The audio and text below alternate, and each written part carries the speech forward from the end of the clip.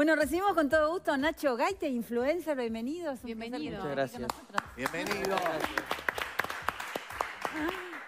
Bueno, Cuéntenos. A ver. Es un invitado especial. Nacho es, primero que nada, es salteño, 25 años, creador de contenidos eh, a nivel nacional e internacional, porque trabajó también con la conocida Fernanda Sosa, en- sabe mucho de marketing, es filmmaker, pero además hace poco, este, lo- en mi caso lo descubrí su trabajo porque está llevando a, a lo que es el formato redes sociales, reels o videos cortos sobre lugares misteriosos, incluso él juega un poco con, con esas palabras, ahora le voy a pedir que lo hagas a cámara, y, y- y la verdad que está rompiendo todo. Es un- creo que si hoy, siempre lo digo, eh, al trabajar en, en Voces Anónimas siempre vamos ayornando Claro. la serie. Hoy ese es el camino, eh, los contenidos son más dinámicos, eh, el público cada vez tiene menos paciencia, entonces hay que darle lo que quiere Claro. en poco tiempo y él es un experto. ¿Cuánto hace que empezaste? Y hace poco, en realidad, antes, hace seis meses que empecé a hacer contenido de nicho, así, full, solamente ese contenido. Antes daba un poco de tips de video, de cómo grabar, cómo editar, un poco de terror, sí, pero hace poco que dije, voy por esto. ¿Y por qué? Eh, ¿Qué- qué? Porque me gustaba, había intentado hacer en YouTube antes, pero bueno, YouTube es un poco más lento el proceso. Me costaba mucho la producción yo solo, hacerlo, grabarlo todo yo solo. Eh, videos tan largos y con constancia. Claro. Entonces dije, Voy a hacer un paréntesis, Sí. porque está buena la pregunta, porque él mismo la, la cuenta en un video y ahora te voy a dar pie. Él dice que siempre le tocó trabajar detrás de cámara y, y que hacía cosas geniales, hasta que un día dijo, ¿por qué no aparecer yo? claro. Que me- si- me di como invita a la gente a claro. romper un poco esa vergüenza, ¿no? Sí, empecé a aparecer yo y descubrí como que siempre me había gustado estar delante de cámara y detrás también. Y bueno, empecé a disfrutar el proceso desde otro lugar, ¿no? Sigo teniendo mi- mis, mis clientes que les, les grabo, pero también disfruto este otro lado mío. Y, y trato de llevar el formato a YouTube, con lo que im- implica la producción eh, de grabarlo, editarlo todo, efectos, pero un formato de máximo un minuto. ¿Y no por qué, por qué este contenido? ¿Porque te, te, te copa, siempre te gustó? Te... Bueno, sí, sí, siempre consumí también voces anónimas y siempre me gustó. Y es, es el contenido que yo consumo, digamos, Claro, ¿no? Porque claro. por ahí intenté otras veces hacer contenido que me gusta o que me gusta hacerme o donde me gusta verme, pero por ahí no es lo que yo consumo. Esto es como que lo que yo consumo. Claro. Esto y la parte de crímenes, crímenes reales también es lo que me gusta Te también. sentís como en tu salsa. Sí. Decís esto. Él recorre el país Claro. y cómo es que decís a cámara cuando estás hablando de tus videos. Ah, siempre tengo una frase que, que es lugares misteriosos. Trato de hacerlo que al principio la gente me decía, no hagas eso, no puedo ver tu video porque me da mucha rabia. Y al principio a mí ta- a mí también. Y Lo charlaba con mi novia Y ahora quedó, dijimos, quedó. como que quedó. Se instaló. Está- dio, la, dio la vuelta, es tan malo que... No, y él, él usa recursos eh, que los tiene estudiados porque la gente tiene, hoy te da tres, de 3 a 6 segundos para scrollear.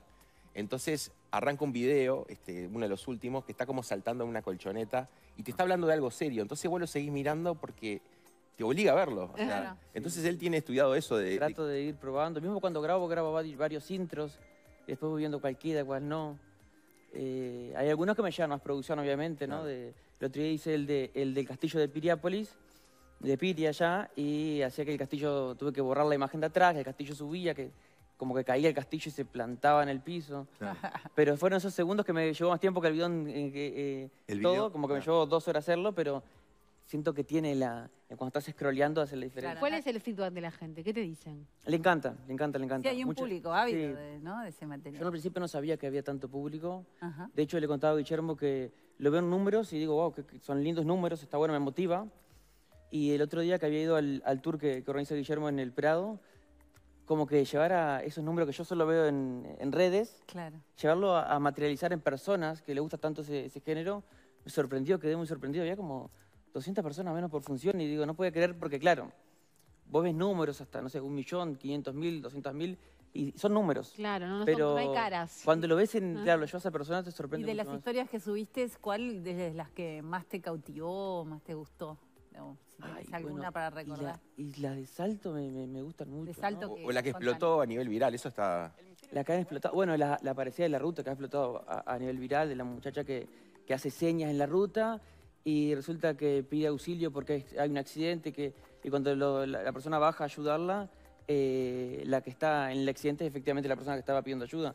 Son las clásicas, ¿no? Claro. Pero mm, el otro día eh, charlamos con Guillermo que había hecho un debate yo en redes y había eh, priorizado, eh, eh, le preguntaba cuál es el departamento que tiene más leyendas.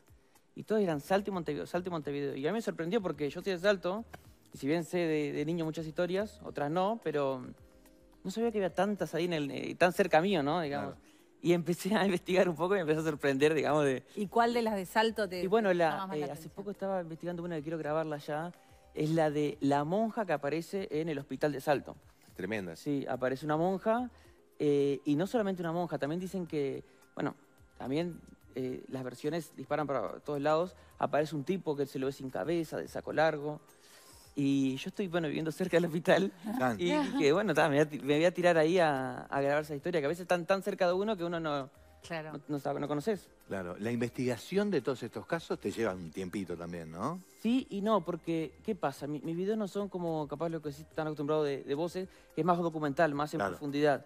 Yo trato de juntar todo, ver un montón de material y hacer un resumen, llevarlo eso a un minuto. Entonces, por ahí a veces hasta me olvido de historias porque la investigación que yo hago no es tan profunda. De Claro. hecho, mismo para organizarme, para grabar, agarro dos días, que grabo 40, 50 videos en esos dos días.